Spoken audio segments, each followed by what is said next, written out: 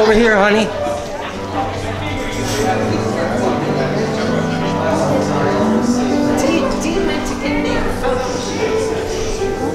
Shabbat Shalom. Shabbat Shalom. And welcome to our service this afternoon. Hag Sameach. It is Yom Teruah, Feast Trumpets. I'm just wondering if how many trumpets we actually have out here. One here, and I see one up here. Excellent. So there may be some trumpet, and Debbie has her trumpet, wonderful, her shofar. Bless you. What a joy it is to be in the house of God. Hallelujah. Fall feasts are upon us. And we just want to welcome each and every one. We have visitors for the first time. Welcome to this service. We have a number of important, significant things that we want to do this particular service. We will uh, see baptisms, we'll hear, hear testimonies and see baptisms. There will be an honor roll of those that have passed in the last 30 months. Uh, these have been unusual times. We were not able to always do a celebration of life service, and so we want to acknowledge those that have passed in the last 30 months and are awaiting resurrection. Amen. Hallelujah. So you have, if you have your bulletin, there's a number of announcements. Uh, just be aware, the Zoom Bible study.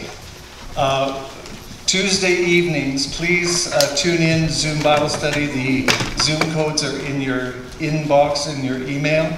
So please uh, join us for the Zoom Bible study on Tuesday. We have people from Vancouver Island, from Calgary, Delta, all over, all over, attending that uh, Bible study.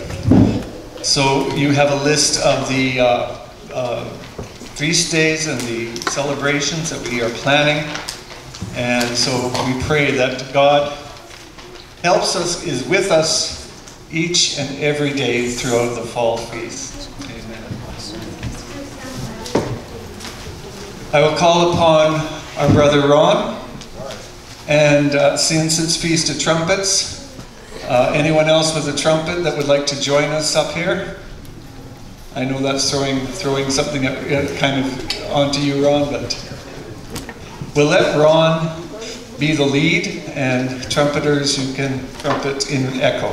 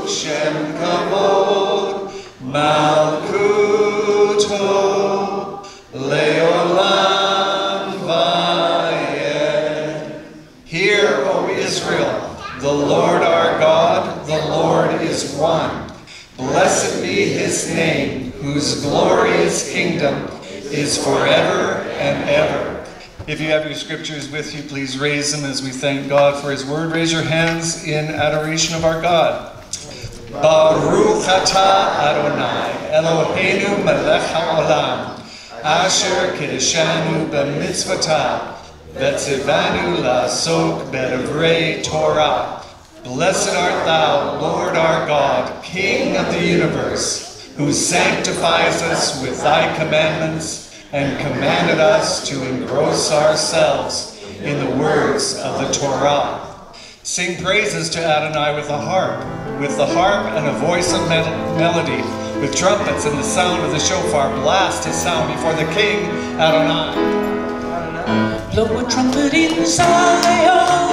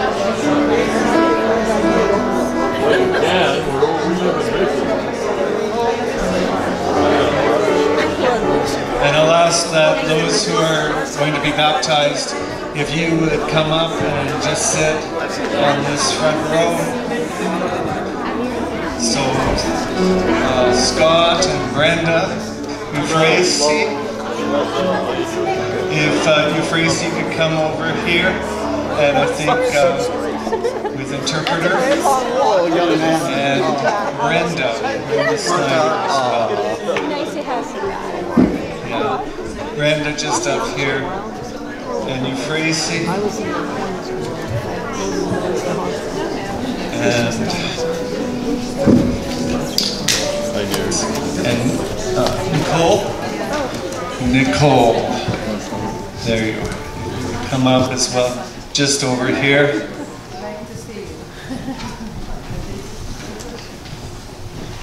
And Euphrasie.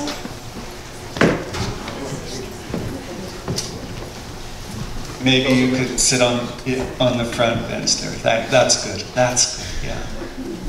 There we are.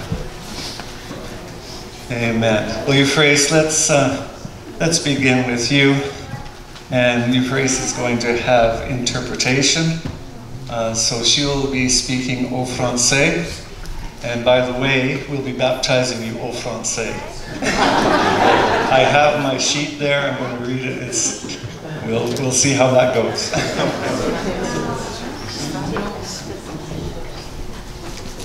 Alléluia, Église de Dieu. Hallelujah, Church of God. Je m'appelle Euphrasie Kwinja.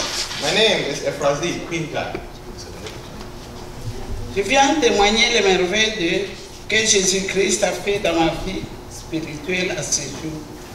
I have come to testify the goodness of the Lord and what Jesus has done in my life. J'explique cette vie spirituelle en deux étapes pour ne pas prendre du temps. I'll give this testimony in two steps, so not to take time. Première étape, First step, au ministère Full Gospel, j'ai pris la décision de recevoir Jésus-Christ comme Seigneur et Sauveur de ma vie. At the full gospel ministry in Congo, I made a decision to receive Jesus Christ as my Lord and Savior. À partir de ce vœu, Jésus-Christ a commencé à transformer ma vie par des changements de comportement qui n'étaient pas agréables à yeux. When I made this decision, Jesus Christ began to transform my life by changing behaviors and characters that were not pleasant in his eyes. La parole de Dieu m'a aidé à marcher dans la crainte de Dieu et du péché. The word of God helped me to walk in holiness, the fear of, God, and to avoid sin. J'ai aussi appris à prier et à mettre en pratique la parole de Dieu. I also learned how to pray and to practice the word of God in my life.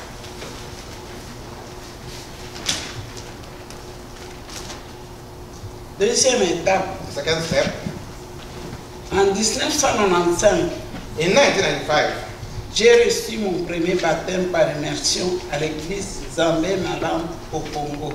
I received my first baptism by immersion at the God is Good Church in the Congo.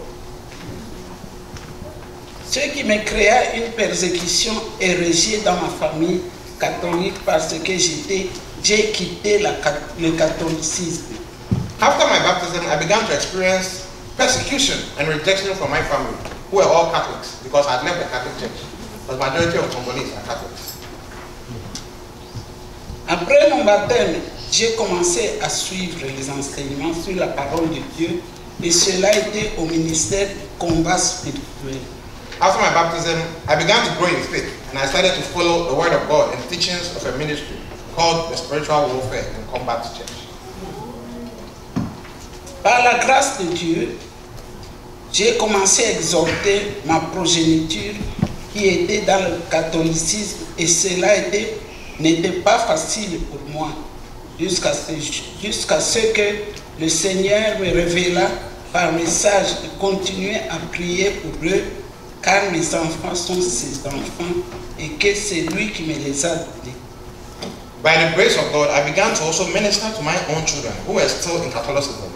But it was not easy for me until the Lord revealed to me by a message that I should continue to pray for them because my children were his children and that it was him who gave them to me and he was going to convert them in his own time. J'ai obéi au Seigneur en commençant à intercéder pour mes enfants pendant un temps. Et le Seigneur a accompli sa parole. Car tous ont accepté Jésus-Christ comme Seigneur et Sauveur de leur vie jusqu'à ce jour. Je rends grâce à l'Éternel notre Dieu. I obeyed the Lord and I started to intercede for my children in prayer for a time. And the Lord fulfilled his word because all accepted Jesus as their Lord and Savior in their lives until this day. I give thanks to God for this victory.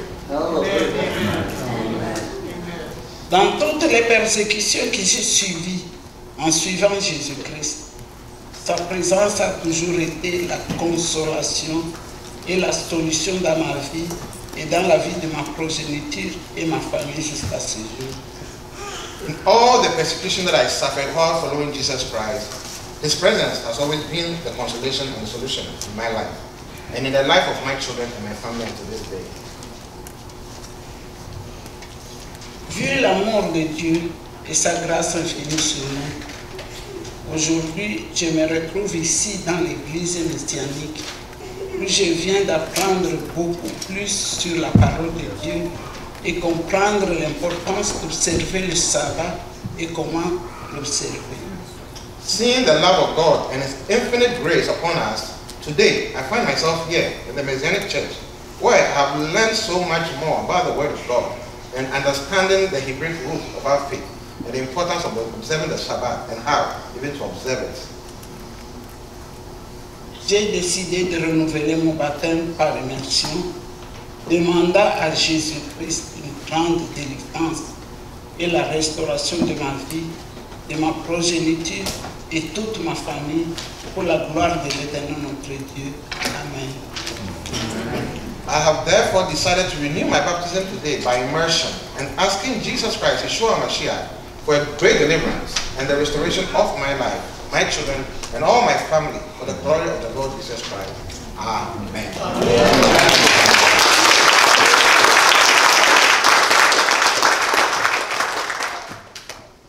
Thank you, Chris.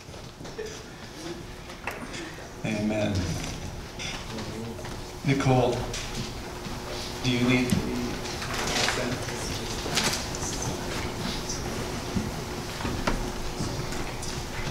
Well, I didn't write anything down. My name's Nicole Martin. I've been going to church since before I was born. One brought me there. Um, I was born and raised in a Roman Catholic church. I've been sprinkled, been confirmed, and the whole nine yards.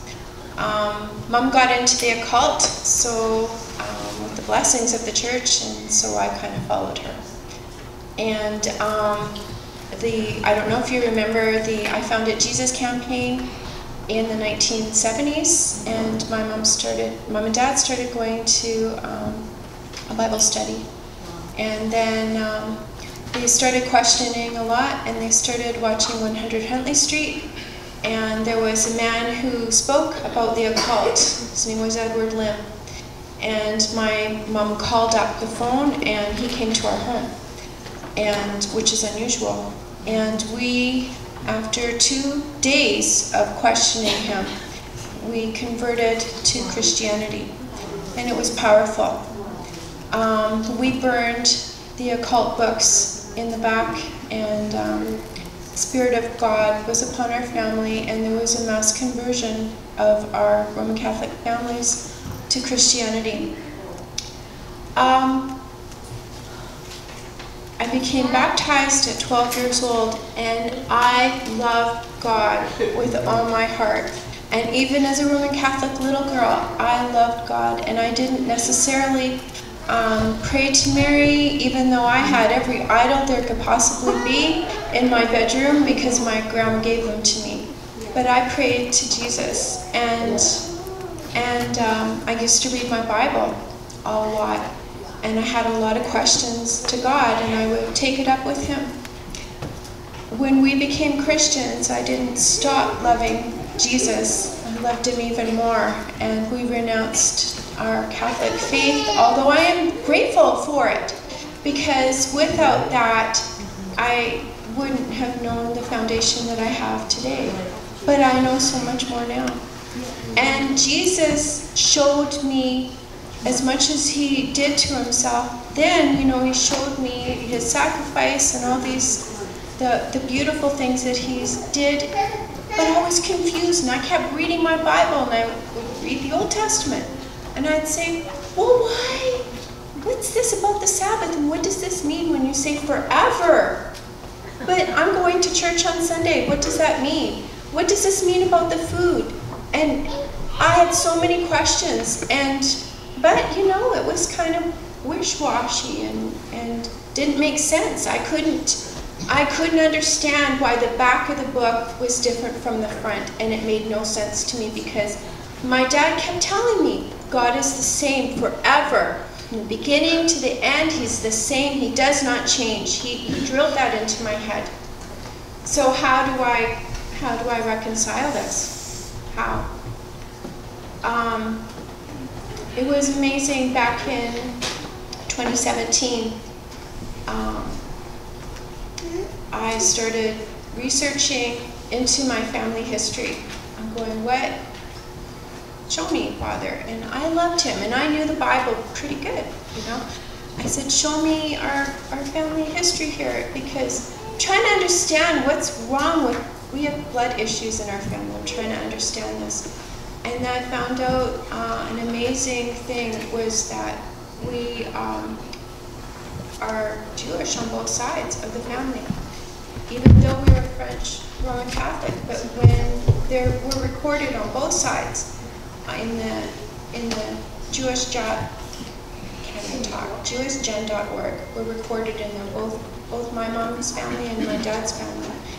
And for six months, I was arguing with the Lord, and I said, "No, we're not. I'm not Jewish. Not Jewish." Six months, and He kept telling me, "Yes, you are. Yes, you are." But when He showed me that, um, it all made sense. And I said to God, I'm sorry. I'm sorry. I won't go celebrate on Shabbat. I won't be eating pork anymore. I'm so sorry. I didn't know and I didn't understand. And he made a massive change in my life right then and there. And the Old Testament started to make sense in a way that I can't even describe to you. The Bible was so alive. I just, I cried and I cried for months. And I'm so thankful. I am so thankful that He's He showed this girl the truth and that He's been walking with me all these years. And I just, I am, I, I couldn't understand why, you know, the Bible says you know, to be separate, to be kadosh, to be holy. I didn't even know the word kadosh then, be separate. And my life really wasn't separate. As a, a Christian, it really wasn't that separate. If you the only thing that was really different was that I read the Bible a lot. But it's separate now. And um, I want to thank God for this opportunity to follow Him with all my heart. And I praise Him. And it's amazing. It's an amazing time to be alive. And uh, I am so happy to get baptized again with a whole new set of understanding. I'm very grateful.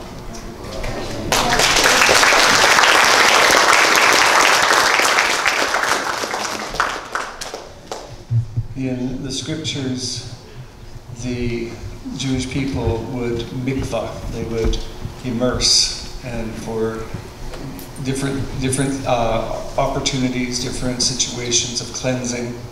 And we find this in the book of Acts 19, where Paul comes across the Ephesians. And they had received John's baptism, a baptism of repentance, but without full understanding of what exactly the whole gospel was. And so he did not say, well, you've been baptized once, that's, you know, that's it. No, he said, now you need to understand the fullness of Yeshua, of the coming one, of the Holy Spirit. And so that just kind of gives little context to what you're hearing today. Brenda, if you would come.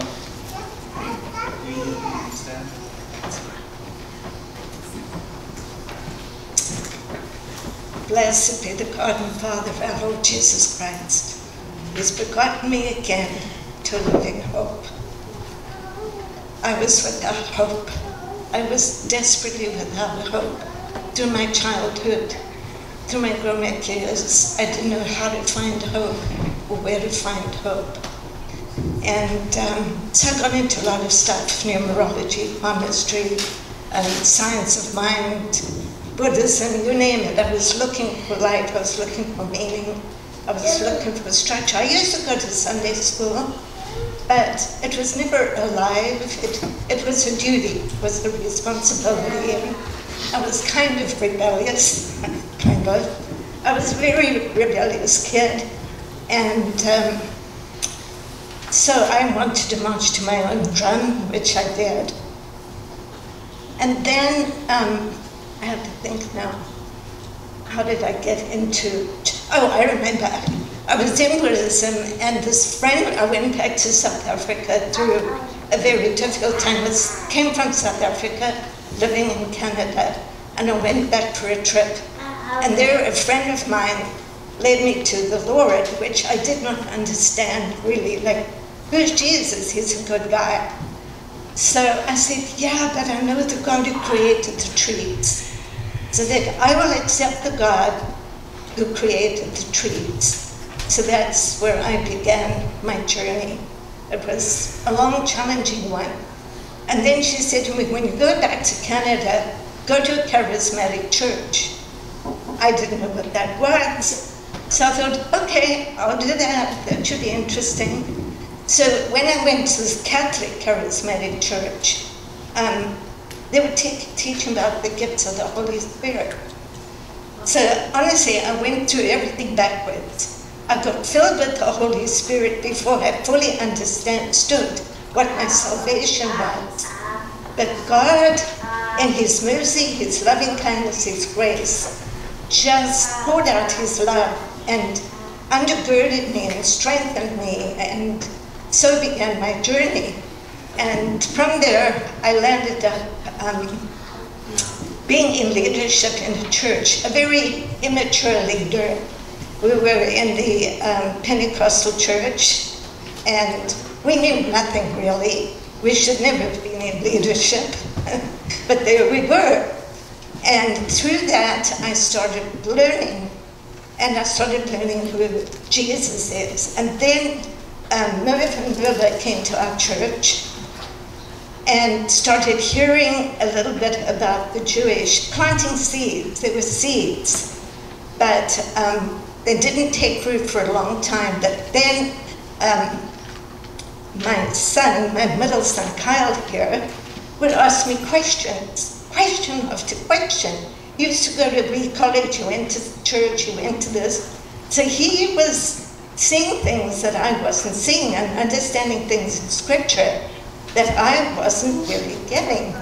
So I thought, wow, you know, um, by the time I'm 50, I'll have it. By the time I'm 50, I'll be a strong, mature person and I'll have the answers and I'll know what it's all about. and, and so it was an up and down journey trying to understand who is this God and what is he all about and what has he really done for me? And so as I read scripture more and more, the Lord opened my eyes more and more, and I began to discover the love of God that He sent His Son for me. And it's amazing how people can go to church and do all kinds of things in church and do ministry and not really know the depth of who their God is and what He's done for them. And I had a complete nervous breakdown about 12 years ago. And that was when the Lord started picking up all the pieces of who I am. And I, my middle son again said to me, Mom, come to this Messianic Bible study. And so that's where I started standing on the solid ground, on the solid rock. And I have come to know a Savior who absolutely loves me and has given me an eternal hope, who has put me on a solid rock, who has healed and restored and is restoring my soul. And so to him I give all the glory and honor. He is my living hope. Amen.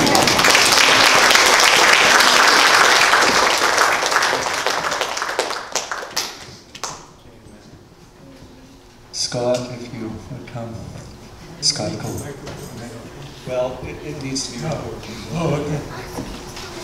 Hello, my name is Scott Cole, for those who don't know me, but most of you do. And uh, I'd like to say a special thanks to my wife for coming, Jerry Rose, and for my daughter-in-law Marnie and her son Colby. It's a real honor to have you and everyone here. I'd like to say I came to faith in Yeshua almost 50 years ago, and today I'm going to explain why it's taken so long for me to actually get immersed or baptized. Uh, let's start with uh, my trip to Israel, because six years ago, almost to this date, uh, uh my wife and I, well, here's how it happened. To share how it happened because we're, we never travel. I've never, 50 years ago I was in New Zealand, but I've never been out of the country in 50 years except the United States, Canada and back. And my wife has been to Hawaii and back, but she's never been out of the country her whole life. So six years ago, you know, it was her birthday coming up, and uh, usually she like we like simple things. I said she likes to just walk around downtown Abbotsford and have lunch there. That's a simple, nice birthday. But six years ago I said, Jerry Rose, for this birthday, what would you like to do? Would you like to walk around downtown Abbotsford or walk around downtown Jerusalem? And she chose Jerusalem. So we went to Israel and I said, this is the per uh, perfect place to get baptized in the Jordan River, right? What a better place. So I'm going to explain the a few positive things about our trip and a few negative things and why I did not get baptized in Israel. First of all, the positive. It was a real, it was probably a, one of our greatest experiences ever going to Israel. I just highlight a few of the highlights. As soon as we got there, uh, off the plane, we stopped in the Independence Hall where Ben Gurion announced uh, 1948, Israel as a nation. We felt like we were there in 1948. Uh, memories of, uh, you know, we, we pray a lot for the peace of Jerusalem. And I remember standing on the balcony of our hotel in Jerusalem, looking out over the city and praying for the peace of Jerusalem. It was quite uh, a nice experience.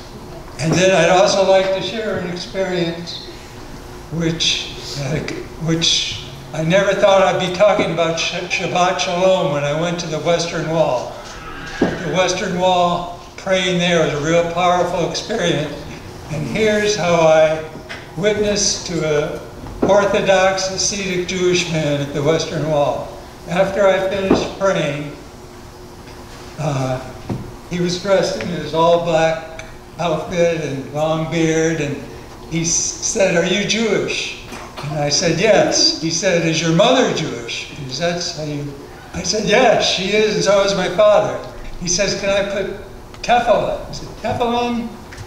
Uh, on you. That they wrap that around your arms and body. For I never had that done. And I said, uh, I said, yeah, I never had it, so you can do it. So he started to do that, and then he asked me, do you go to the synagogue? And I told him I was from Canada. Do you go to the synagogue in Canada? And then I, the door was open, and I said, yes, I do.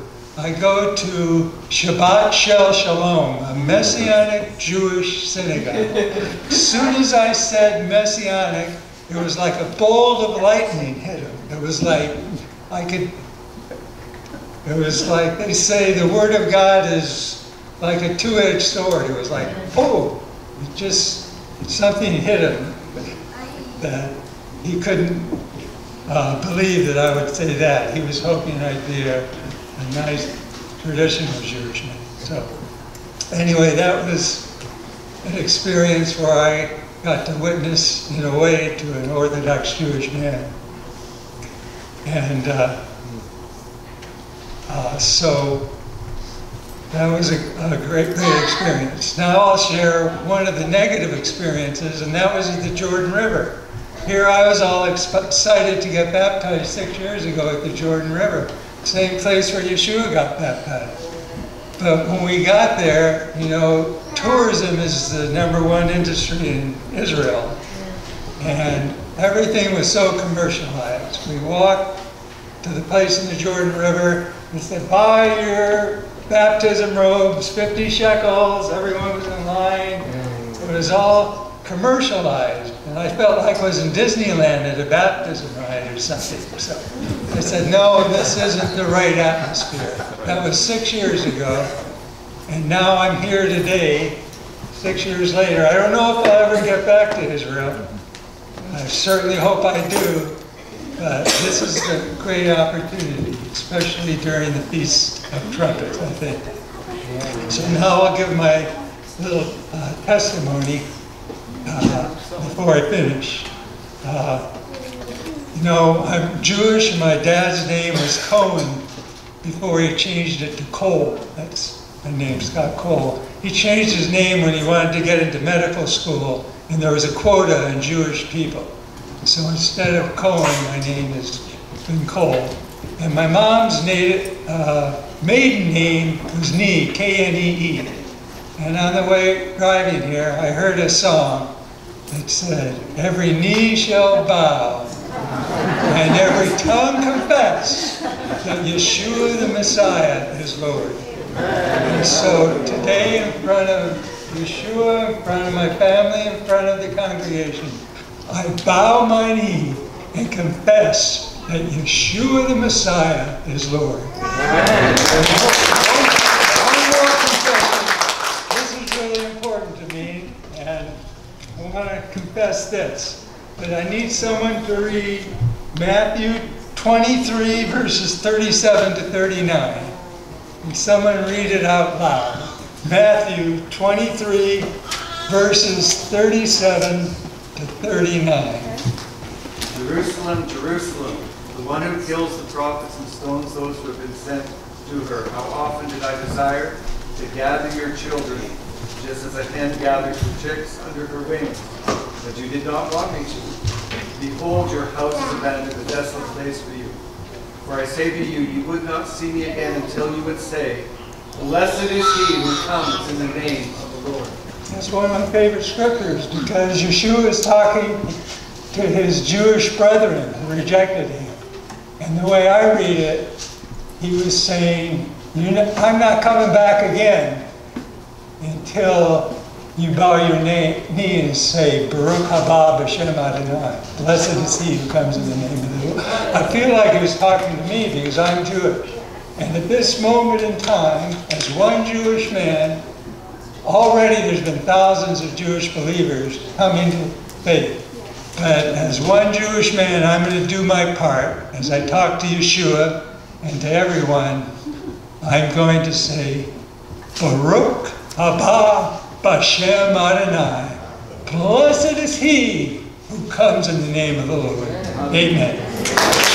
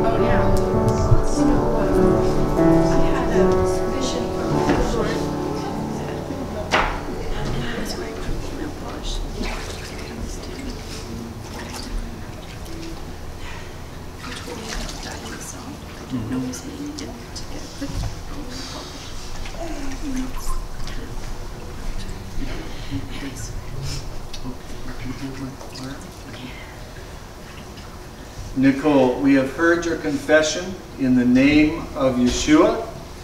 Now we baptize you in the name of the Father, Son, and Holy Spirit.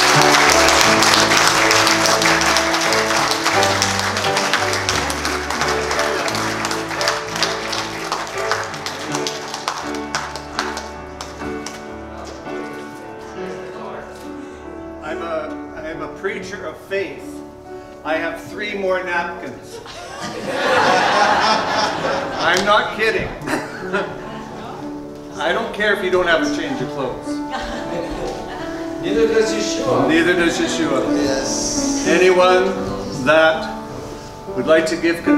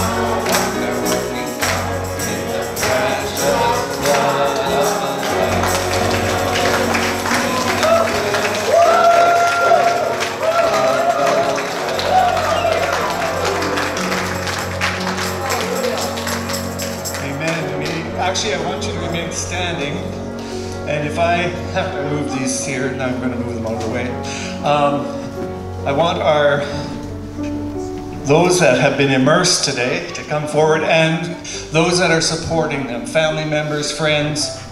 Maybe you didn't know you were here to support them, but you come on up. We want to pray for them, each one. Please, those baptized and those supporting them.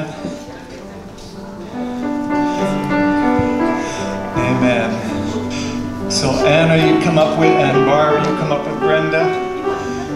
Amen. And Brenda and your family. Yes. Amen. Amen. Aren't we having a joyous celebration? Wonderful way to celebrate trumpets. Amen. Now, let's start at this end. Brenda. Heavenly Father, in the name of Yeshua and by the power of the Holy Spirit, we seal unto the day of redemption this commitment that Brenda has made. May these be recorded in the courts of heaven, and may she be a wonderful example and testimony to your grace. In the name of Yeshua we pray. Amen.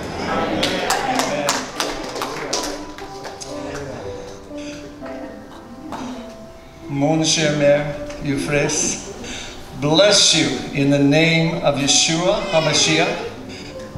May our Father, Père, bless you in His Son's name by the power of Saint Esprit.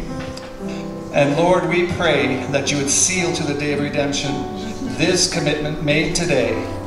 In your courts of praise, we pray that this be recorded for all eternity, and may all rejoice in the heavens and here on earth. In the name of Yeshua. Amen.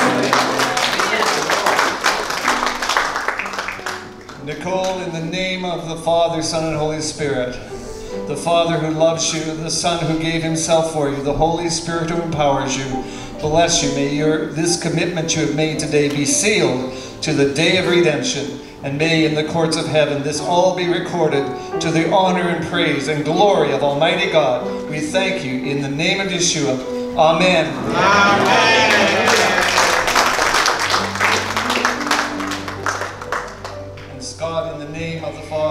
we thank you for your blessing, Lord, for Scott's life. Heavenly Father, I thank you that you have sealed to the day of redemption this commitment that he has made. And Lord, in the name of Yeshua and by the power of the Holy Spirit, we pray that in the courts, in the very courts of heaven, this be recorded for all eternity. And Lord, may all be praised to your name in heaven and on earth. In the name of Yeshua we pray. Amen.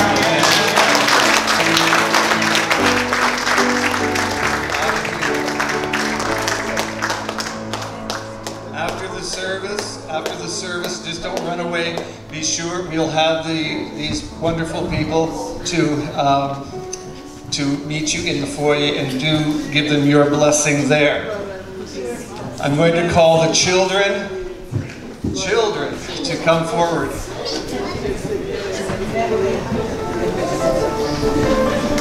And we're going to release you to Shabbat school.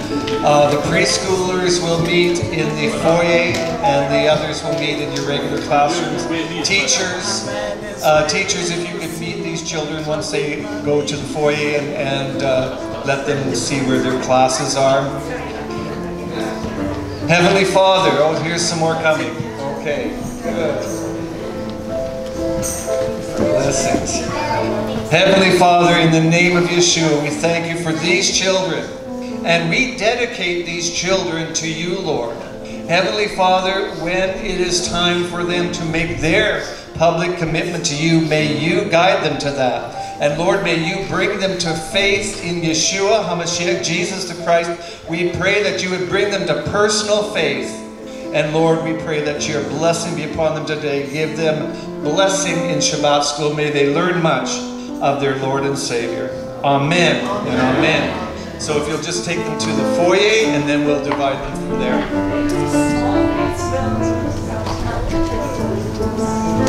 Yeah.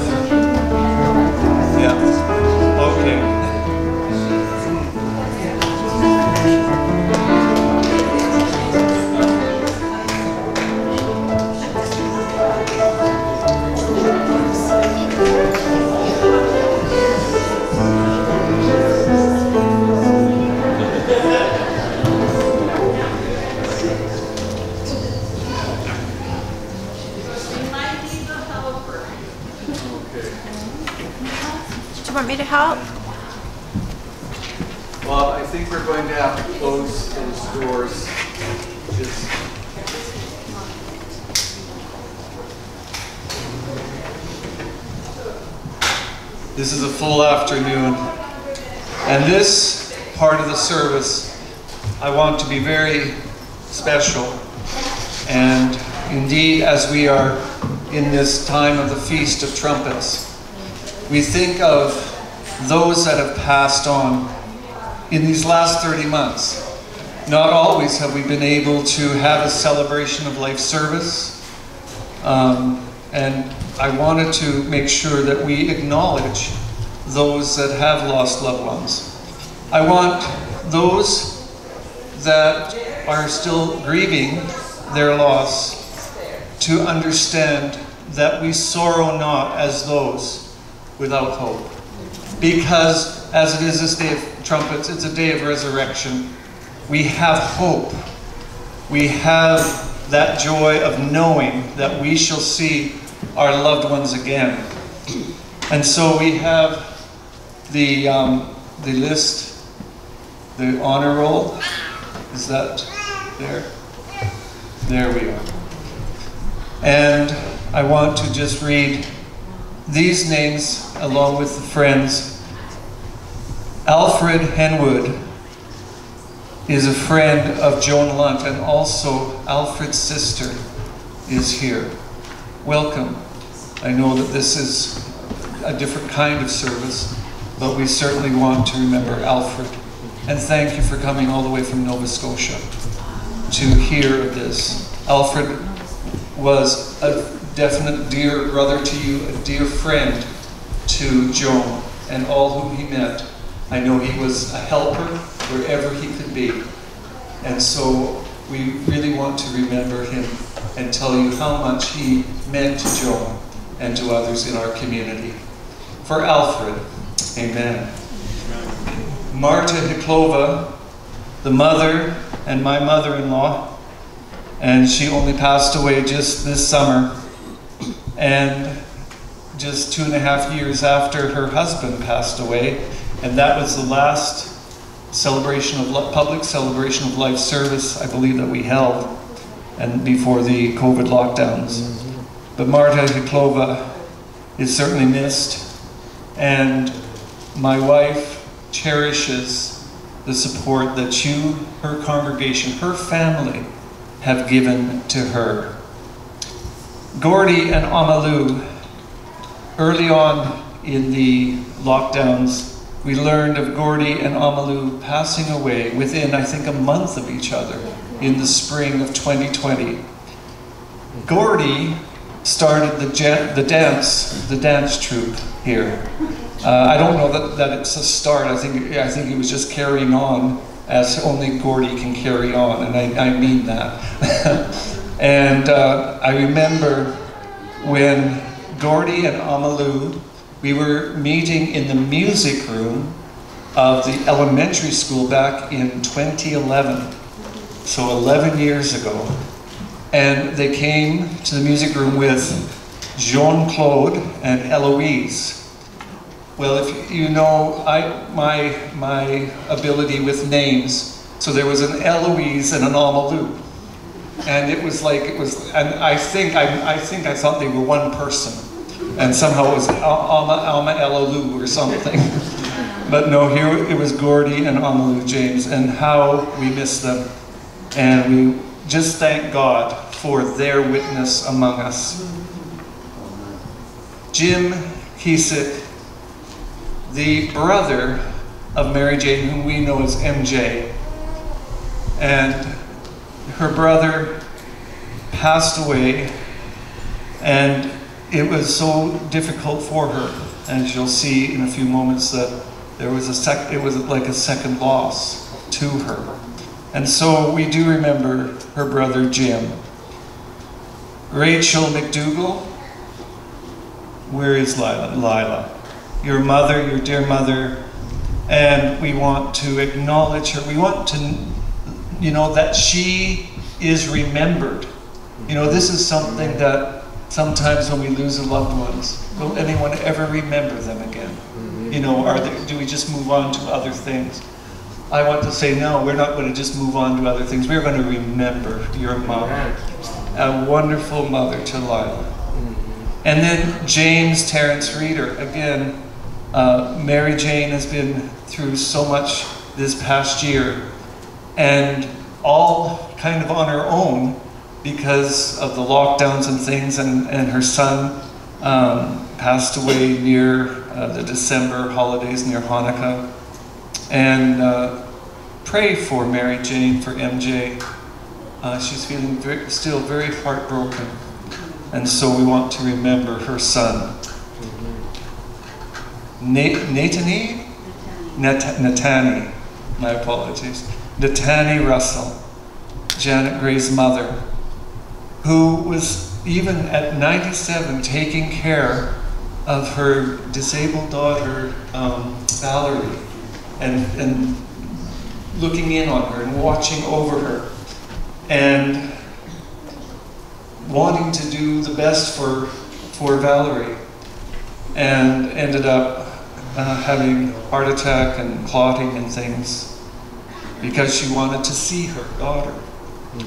It's, we, we just remember your mom. Wonderful, wonderful lady to, to you and to Valerie. Bless you, Janet. And then Brian Leslie Smith the husband of Leanna Smith, who passed away in the last year or so. And Leanna is new to our congregation, having come from Calgary, but is recently bereft of her husband. And so she comes to us as just recently widowed. So, Leanna, may I know you're new in, in a sense to our congregation in the last few months. But I trust that you really sense the love that we have for you, and and we support you as you can as you grieve, and that you will have the victory all of you, that you'll have the victory mm-hmm. and realize. For Kip Allen Wedge, son of Ron Gray, I know a foster son, but really a son, very much. And only 63, I believe, when he passed. And we pray blessing to you, Ron and Janet, to your whole family. And may you have, feel and sense the strengthening graces of God. And then, dear, dear Elfrida Davis, the family called me in the winter to come and to pray for Elfrida. And they said she's she is you know she's about ready to pass. And some of you know my story of Sarah Davidson from Maidstone, Saskatchewan. She would park herself every morning at her nursing home just by the doorway and scare the living daylights out of people as they came in, and she would say, I'm living for the Lord, you know. well, wouldn't you know it, I told Elfrida that story. And it did something in her heart, in her life. And she just kept going and going, and like, well, better than the Energizer Bunny. and I got a call in April. I've never got a call like this. One family member said to me, undo what you did. And I said, well, what did I do? And they said, she won't die. and I said, I don't know how to undo what I did. And, well, you've got to come and do something. Because, you know, she's just hanging on and, and she's breathing and she, there's just, she just won't die. And so I went there, and I wasn't about to undo what I did. but I did say, Heavenly Father, you are in you are sovereign in all things. And may your will be done. And she still she still lived a few more weeks after that. I was at her memorial and what a what a joy. She told me, I don't want to go out sick and, and, and just, I, she said, I want to go out victorious. I want to have a victorious homegoing. And it was such, it was such a testament to her family. And she just, you know, she lived until she just simply changed addresses and lived in heaven and lives today. All of these. We serve a risen Savior. He's in the world today. And may we not forget these names and, and really love on these dear people. I want you to know that, that we do care for each and every one you. Amen. Well, let's stand. We still have a little bit of a sermon to do, so let's stand and stretch a little bit.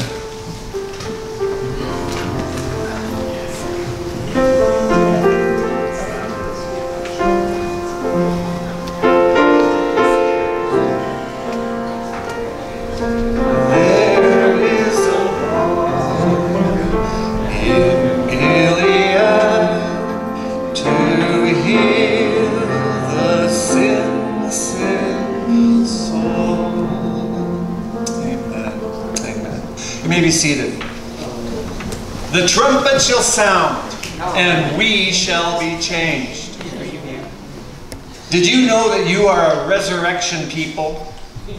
Did you know that you're all, you already have experienced a resurrection? Did you know that? Because Ephesians 2 says, You were dead in your trespasses and sins. At that time you walked in the way of this world in conformity to the ruler of the domain of the air, the ruler of the spirit who is now operating in the sons of disobedience. We too all lived among them in the cravings of our flesh, indulging the desires of the flesh and the mind. By nature we were children or objects of wrath, just like the others. But God, but God was rich in mercy because of his great love with which he loved us. Even when we were dead in, in our trespasses, he made us alive together with Messiah. By grace you've been saved, and he raised us up with him and seated us with him in the heavenly places in Messiah Yeshua to show in the Olam Haba the measureless richness of his grace in kindness toward us in Messiah Yeshua. For by grace you have been saved through faith, and this not from yourselves, it's the gift of God. It's not based on deeds, so that no one may boast. For we are his workmanship created in Messiah Yeshua for good deeds, which God prepared beforehand so we might walk in them. You know, people can do relatively good things, relatively good things. And they, they look at each other and they say, well, I might not be as bad as so and so, but I'm better, I'm better than this one. you know, we compare ourselves amongst ourselves. And the Bible calls those relatively good things, you know what it calls those kind of works? Dead works. Because they come from a dead heart. So the unsaved can do relatively good things.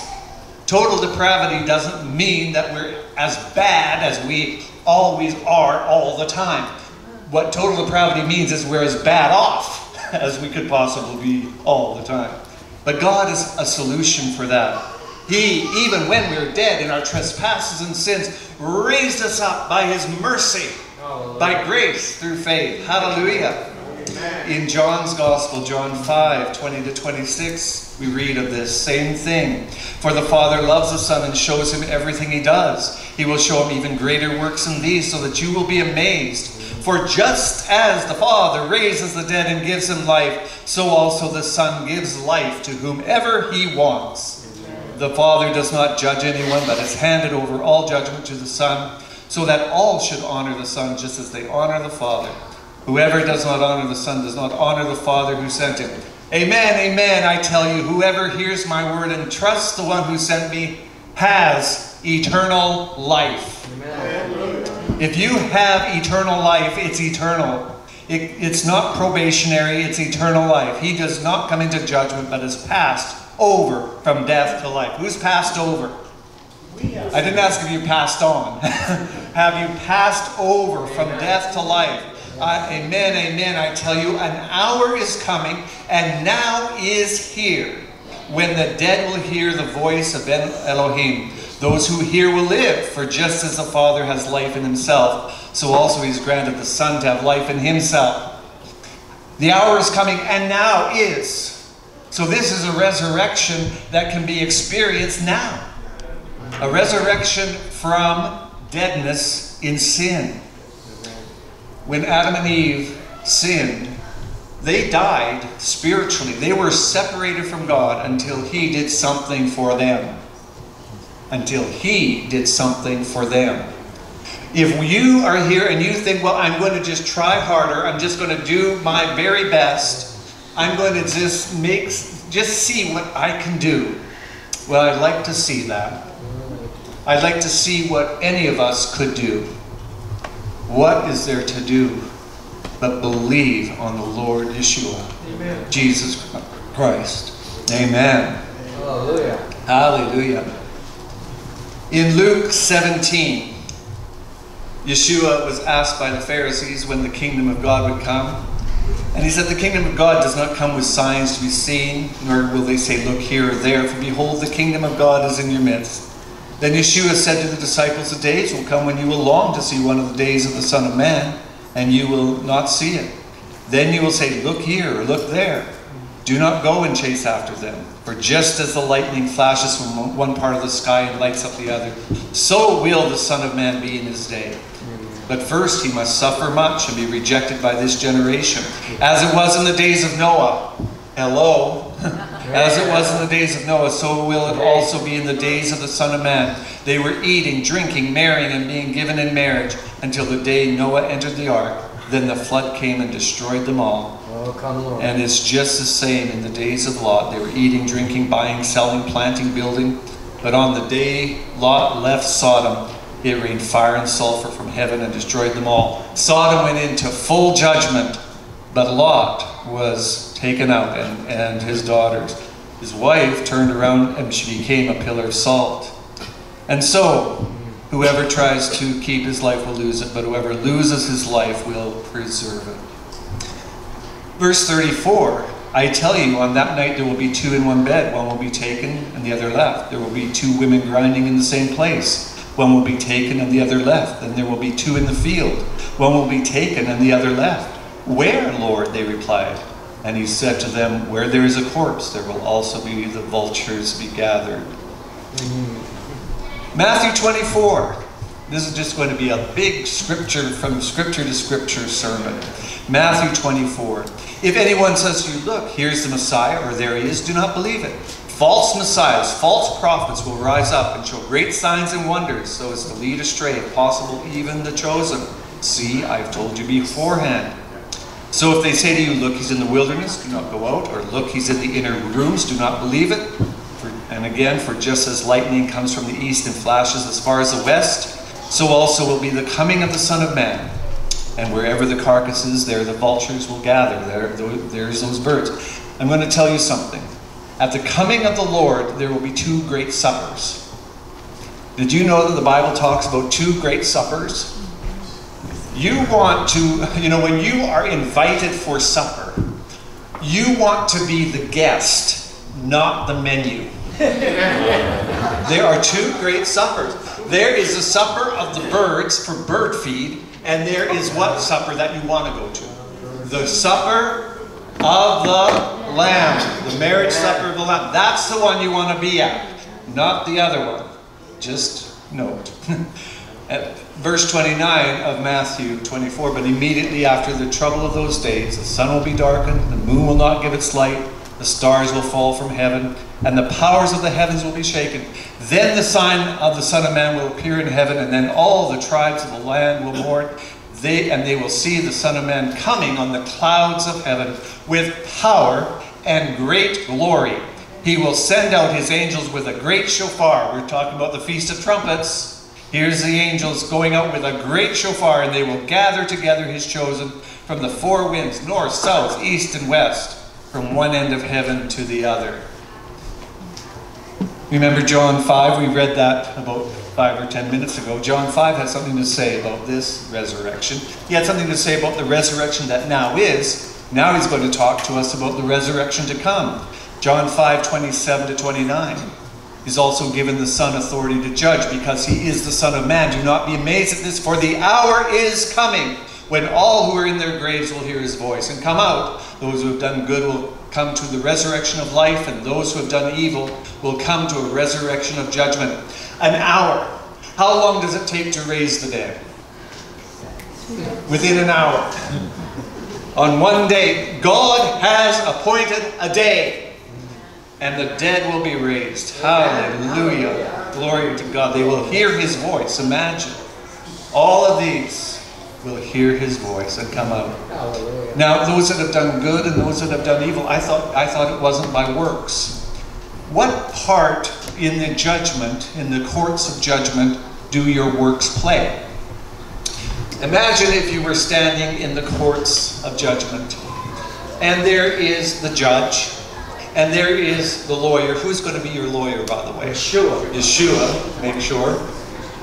And, okay, you've got yourself there, you've got your lawyer. What else do you need to bring along with you to, you know, say a few words? What do you bring along to court with you? Some character witnesses. Who are your character witnesses? Words. Do they save you? Do they execute judgment? No, but they witness. They witness at the court. That's your character witnesses. And that's how that works. Not by works for salvation, but make sure you have some character witnesses. It's not just your say so. oh, hallelujah. Now in John 6. Hallelujah. I love these verses. Now, this is the will of one who sent me, that I lose not one of all he's given me, but raise each one on the last day. For 40 years, I've been ministering uh, across uh, Western Canada, the prairies, and the coast here in BC, and uh, here in Fraser Valley. And I'm going to be looking for those ones that sat under my ministry all these 40 years. And I'm going to believe God for this verse. I will not lose one. Of all he's given me, but raise each one on the last day. For this is the will of the Father, that everyone who sees the Son and trusts in him may have eternal life, and I will raise him up on the last day. John 6:44 For no one can come to me unless the Father who sent me draws him. No one can come. All may come. Know the difference between can and may. Your your grammar teachers had some, you know, they were onto something. Know the difference between can and may. You cannot. That means your power. That means your ability. You and I cannot, but we may. So whose whose ability are we depending on? Ours? No, God's. No one can come to me unless the Father who sent me draws him, and I will raise him up on the last day. Hallelujah. John 6, 55 to 54. So Yeshua said to them, Amen, amen, I tell you, unless you eat the flesh of the Son of Man and drink his blood, you have no life in yourselves. Next week we're going to have communion. Uh, be there. he who eats my flesh and drinks my blood has eternal life. And what? I will raise him up on the last day. Now, 1 Thessalonians 4. We know this scripture. The shofar call of Messiah's return. We don't want you to be uninformed, brothers and sisters, about those who are asleep, so that you may not grieve like the rest who have no hope. For if we believe that Yeshua died and rose again, so with him God will also bring those who have fallen asleep in Yeshua. Our loved ones, those that we have spoken of today, God will bring with him. And for this we tell you by the word of the Lord, that we who are alive and remain until the coming of the Lord shall in no way precede those who are asleep. For the Lord himself shall come down from heaven with a commanding shout, with the voice of the archangel, and with the blast of God's shofar.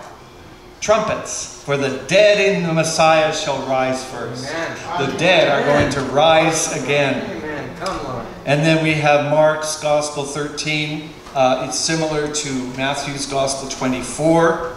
Uh, it talks about how he will send out his angels and gather together his chosen from the four winds, from the end of the earth to the end of heaven. And then 1 Corinthians 15. Behold, I tell you a mystery. We shall not all sleep, but we shall all be changed. In a moment, in the twinkling of an eye, at the last what? Shofar, the trumpet, for the shofar will sound, and the dead will be raised incorruptible, and we shall be changed. Hallelujah. And all I can hear is Handel's, you know, we shall be changed, and all that.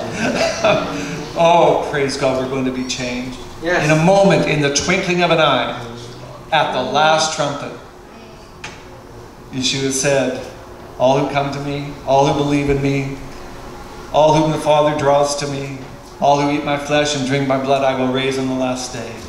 Hallelujah. The dead in Christ rise first, and then we who remain will be caught up with him in the clouds. Hallelujah. Verse 1 Thessalonians 4 17 to 18.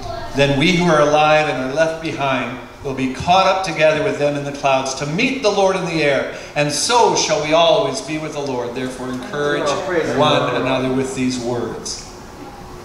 There is going to be a meeting, a meeting in the air. Praise the Lord, you and I, and all the glorious ones will all be there. There's going to be a meeting in the air. And then to complete this revelation. This is, by the way, Revelation 14 and 15 comes after, just right after the seventh trumpet is sounded. What did Paul say in 1 Corinthians? That we will be changed at the last trumpet. And this is what's recorded after the seventh trumpet. Then I looked, Revelation 14. Then I looked, and behold, there was a white cloud. And seated on the cloud was one like a son of man, had a golden crown on his head and a sharp sickle in his hand. Then another angel came out of the temple, crying out with a loud voice to the one seated on the cloud Put in your sickle and reap, for the hour to reap has come, because the harvest of the earth is fully ripe. You know, it's harvest time. These are the fall feasts, these are the harvesting feasts. Amen. You know, in, in the spring feast, Yeshua's ministry, uh, especially his death, burial, and resurrection, uh, Passover, uh, unleavened bread, first fruits, and then the coming of the Holy Spirit on Shavuot, on Pentecost, when the day of Pentecost had fully come. And here we have the harvest.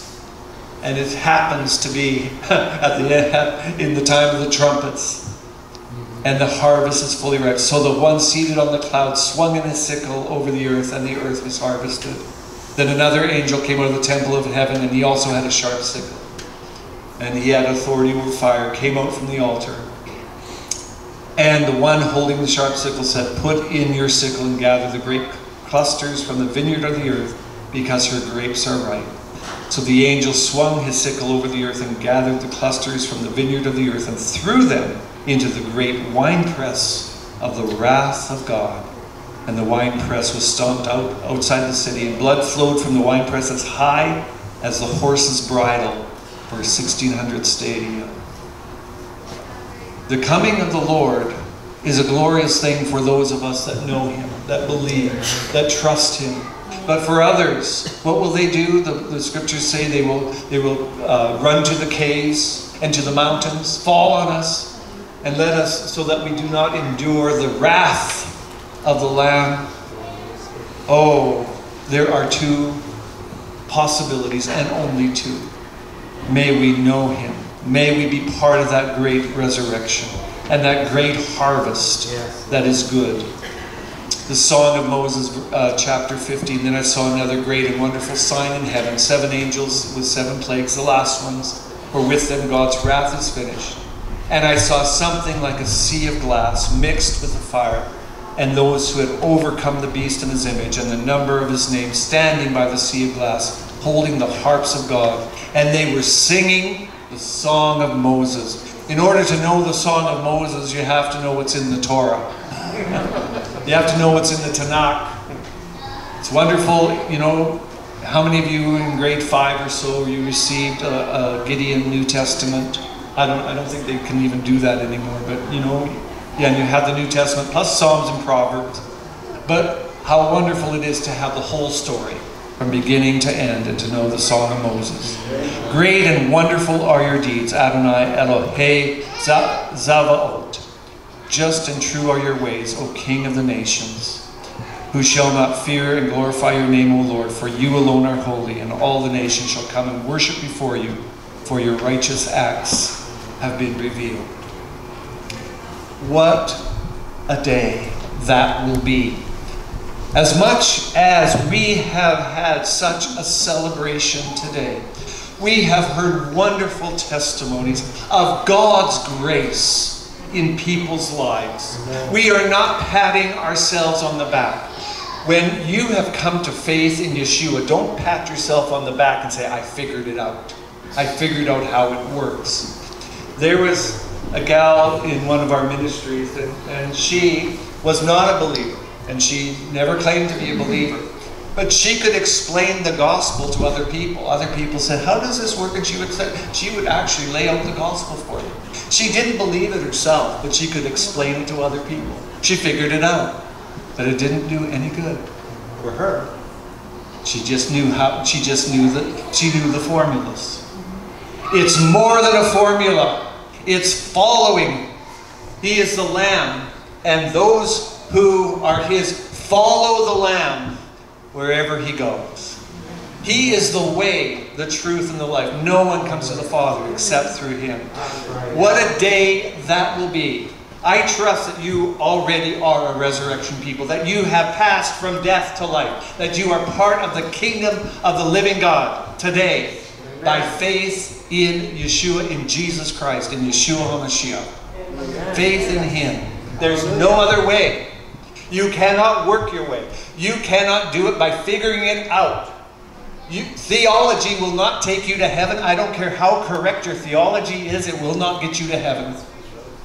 It's a relationship with God through Yeshua HaMashiach. We are a resurrection people. Amen. And I trust that each one here today knows the Lord personally as your personal Savior. Yes, no one comes to the Father except through me, except through Yeshua. No one can come unless the Father draws him. I trust that the God of creation, the God of redemption, is drawing you today Amen. to Thank Him. Lord. Hallelujah. You have seen baptisms, dying to the old man, an old woman, and being raised in newness of life. Hallelujah. We have heard of those names, roll calls, trusting that their names are truly in the Lamb's Book of Life. And we have heard today this celebration of the Feast of Trumpets. And wouldn't it be wonderful? You know, you know what we say these feasts are? These are the rehearsal without the hearse. This is the rehearsal without the hearse. Wouldn't it be wonderful if, and I know I'm over time by about 10 minutes, but wouldn't it be wonderful if, because we stayed for an extra 10 minutes, in the next minute we were surrounding in the heavens itself? Oh, hallelujah. That be wonderful? Even so come, Yeshua. Amen. May it be so in each and every life. Yes. Hallelujah. Hallelujah. Amen. Bonnie, I don't even know what comes next. Is there what's, what's on this? Ju- The song of Moses, but um, the Aaronic blessing. Yes, yeah. There was so much on today's program. I got, I, I just got lost. Wonderfully so. Uh, let's just end with blessed assurance. Blessed assurance, Yeshua is mine. Oh, what a foretaste of glory divine. Heir of salvation, purchase of blood, born of his spirit, washed in his blood. This is my story,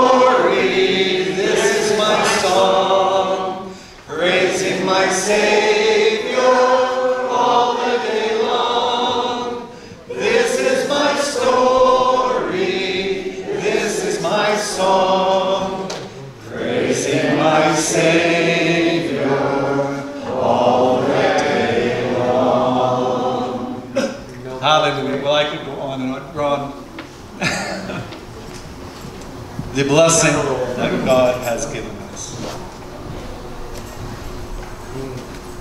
Yevarekaka Yehovah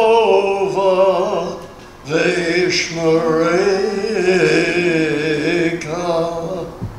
Yair Yehovah Panavaleka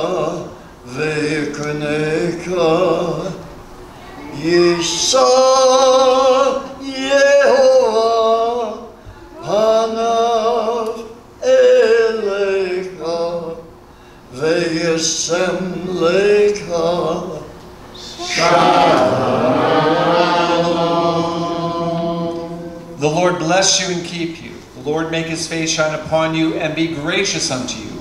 The Lord turn his face towards you and give to you his shalom. Hallelujah. Baptismal candidates, or not candidates, those that have been baptized after the Shabbat medley, please meet me in the foyer and let's greet them in the name of Yeshua. Amen. Shabbat, shalom, shabbat.